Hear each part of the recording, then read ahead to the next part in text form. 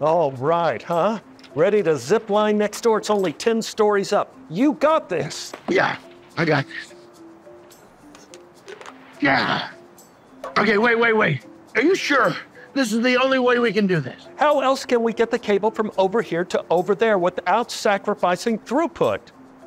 By sacrificing me? Yeah, but only because you weren't born to die on a building, right? Right. Hey guys, uh, what are you doing? Just wiring two buildings together with a camera down the road with this bad boy. Whoa, you guys are really going old school, huh? Uh, there's no need to do any of that. I have a way simpler and way safer solution. So this is the Building Bridge XG.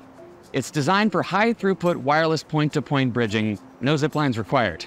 Yeah, but what about that camera all the way over there? This baby ought to do it. Uh, guys, wait, wait, wait, wait, okay. That's what the Device Bridge Pro is for. It's designed to wirelessly bridge PoE devices over 10 kilometers away, so... Oh, please. What's next, UniFi? Are You going to tell us you can magically uplink a switch without a network cable? Oh, come on! Come yeah, on! yeah, yeah, yeah, no, we can. In fact, all of our device bridges can automatically and securely uplink your switches and cameras to any existing UniFi Wi-Fi network. Here, try this one for your switch. Can you show me how it works? Yeah, absolutely. Here, come with Oh, me. cool. Let's just go right over We just do it here.